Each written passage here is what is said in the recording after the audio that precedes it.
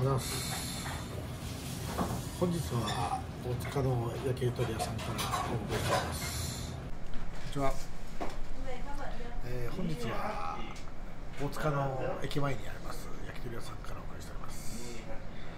本日は大塚の中華料理からお送りします。中華料理っていいですよね。おはようございます、えー本日は大塚の上海料理の店から、えーお送りしております、えーラーメンとかね担々麺担々麺とかこういろいろありますけど